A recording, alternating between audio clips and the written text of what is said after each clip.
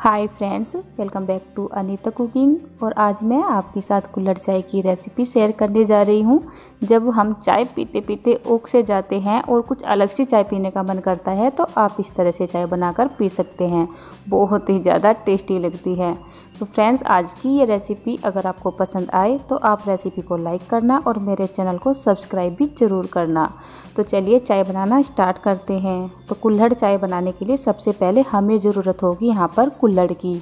हम नॉर्मल गाँव की भाषा में इसको कुल्लो बोलते हैं। तो ये मिट्टी की कुल्लो वगैरह आती है, जो दशहरा वगैरह पर इनमें खिल रखकर इनका पूजन होता है। तो हमें इसको बहुत ही अच्छे से गर्म कर लेना है, जब तक एकदम से लाल ना हो जाए। तो चलिए, जब तक हमारी ये कुल्हड़ अच्छे से गर्म होती है, जब तक बनाते हैं हम चाय। तो चाय मैं यहाँ पर चार कप बना रही हूँ और चार कप चाय बनाने के लिए मैं यहाँ पर फिफ्टी फिफ्टी यानी फिफ्टी दूध और फिफ्टी पानी डालूँगी। तो उसके लिए मैंने यहाँ पर तीन कप पानी चढ़ा दिया है। पानी यहाँ पर थोड़ा सा एक्स्ट्रा इसलिए डालेंगे, जब हम कुल्हड़ चाय बनाएँगे तो काफ़ी सारी चाय हमारी फूक जाती है, यानी ख़त्म हो जाती है ऑटोमेटिक ही दो कप पानी के करीब ही रह जाएगा ये। फिर यहाँ पर मैंने एक कप के हिसाब से, एक कप एक चम्मच चीनी डाल ली है। आप वो चीनी अपने हिसाब से डाल सकते हैं। एक लौंग डाल रही है ताकि चाय में कड़क बना सके और दो इलायची डाल ली है। अब सर्दियों की चाय बना रहे हैं तो अदरक डालना तो बनता ही है। अदरक को इस तरह से कूटेंगे और चाय में डालेंगे। तो सर्दियों के लिए मैं चाय बना रही हूँ तो इसलिए मैंने अदरक को थोड़ा सा एक्स्ट्रा ही डाला है। आप टेस्ट के अकॉर्डिंग कम ज़्यादा कर सकते हो। तो चाय बनाने का जो एक खास प्रोसेस होता है वो यही होता है कि चाय में अच्छे से उबाल आना चाहिए। यानी दूध डालने से पहले हमारी चाय बहुत ही अच्छे से बन जानी चाहिए। इस तरह से जब इसमें बबाल आ जाए और जो हमने यहाँ पर चाय की पत्ती डाली है, वो अच्छा सा कलर यानी अपना पूरा कलर दे दे चाय में, तभी हमारी चाय अच्छी बनेगी। ये देखिए। तो इस पर दो तीन बार उबाल आ चुका है और चाय का जो कलर आप देख ही पा रहे होंगे, बहुत ही बढ़िया सा हो चुका है। यानी कि दूध डालने के लिए अब हमारी चाय तैयार है। तो अब मैं यहाँ पर दूध डाल रही हूँ। तो ये मैंने दूध डाल दिया है और चार से पाँच ही मिनट लगेगी अब चाय को बनने में। तो इस तरह से आप गैस के फ्लेम को लो टू मीडियम रखते हुए चाय में अच्छा सा उबाल यानी खद्दा लगा ले। जब तक इसमें तीन चार बार उबाल ना आ जाए, आप इसी तरह से चाय को उबालते रहे, तभी चाय आपकी परफेक्ट बनेगी। तो ये देखिए, इधर हमारी कुल्हड़ भी तैयार हो चुकी है तो मैंने एक के ऊपर एक कुल्लो और रख दी थी, क्योंकि मुझे यहाँ पर चार कप चाय बनानी है तो एक कुल्हड़ का जो टेम्परेचर है, वो दो कप चाय बनाते के साथ ही डाउन हो जाएगा। तो इसलिए मैंने दूसरे जो कुल्लो थी, वो भी मैंने इसी के ऊपर रख दी थी, ताकि दोनों बराबर गर्म हो सके।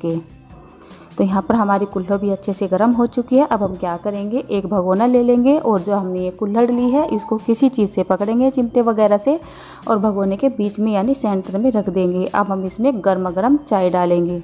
इस तरह से थोड़ा सा सेफ्टी से डालें, जैसे हम इसमें चाय डालेंगे तो ये ऊपर को एकदम से उफन के आएगी। ऐसा ना हो कहीं आपकी स्किन को टच कर जाए और आपकी स्किन वगैरह जल जाए।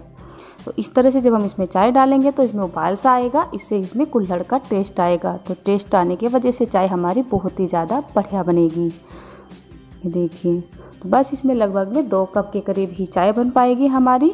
अब हम यहाँ पर चाय नहीं डालेंगे, यहीं पे इसको रोक देंगे। ये देखिए तो जैसे जैसे मैं इसमें चाय डाल रही हूँ, इसमें एक उफान सा आता जा रहा है, यानी खद्दा लग रहा है तो इसका मतलब ये है हमारी चाय में कुल्लों का टेस्ट आता जा रहा है। तो इस वाले कुल्लड़ को हम निकाल लेंगे। अब दूसरा प्रोसेस मैं आपको बताती हूँ। अगर आप भगोने के अंदर डायरेक्ट कुल्हड़ को नहीं रखना चाहते हैं तो इस तरह से चिमटे से पकड़िए थोड़ा सा सेफ्टी से पकड़िए, क्योंकि कुल्हड़ एकदम लाल हो चुकी है, बहुत ही ज़्यादा ये गर्म है। और सेब उसी तरीके से इसमें हम चाय डालना शुरू करेंगे। तो जैसे मैं इसमें चाय डाल रही हूँ, आप देख पा रहे हो कितना ज़्यादा ये उछल रही है। ये देखिए।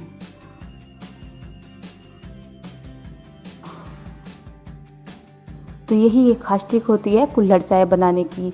जितनी ये इसमें उब, जैसे उबाल सा आता है कुल्हड़ में डालने के बाद चाय हमारी ऊपर को फन के आएगी उतना ही ज़्यादा टेस्ट इसमें कुल्हड़ वाले चाय का आएगा। यानी मिट्टी वाला कुछ टेस्ट आ जाता है। मिट्टी वाला वो टेस्ट नहीं है जो नॉर्मल मिट्टी होती है। ये पकी हुई मिट्टी होती है क्योंकि मिट्टी से बनी होती है जो हमारी कुल्हड़ होती है और इनमें बहुत ही अच्छा बहुत ही टेस्टी सा टेस्ट आता है। बहुत ही बढ़िया लगती है पीने में। तो ये देखिए थोड़ा सा धीरे धीरे करके थोड़ी थोड़ी चाय डालें, एकदम से सारी चाय भी ना डालें, नहीं तो ये बहुत तेज़ी से ऊपर को उबल कर आएगी। तो ये देखिए हमारी गर्म गर्म चार से पाँच कप चाय बनकर एकदम तैयार हो चुकी है। पलट देंगे इसे। तो अभी मैंने इसको छाना नहीं है, जब हम इस चाय को कप में डालेंगे तब इसको छान लेंगे। तो गर्मा गर्म चाय को हम सर्व करेंगे क्योंकि चाय ठंडी होने के बाद अपना टेस्ट यानी अपना मज़ा नहीं देती है। गर्मा गर्म चाय पीने का मज़ा ही कुछ और होता है तो हमने छलनी ले लिया और फटाफट से चाय को छान लेते हैं। फटाफट से सर्व कर देते हैं।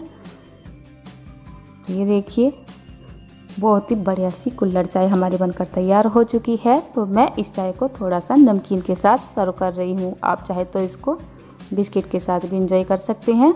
तो बहुत ही बढ़िया सी टेस्टी सी हमारी कुल्हड़ चाय बनकर तैयार हो चुकी है। तो फ्रेंड्स आज की ये रेसिपी यानी ये चाय की रेसिपी आपको पसंद आई तो लाइक करें और चैनल को सब्सक्राइब करना ना भूलें।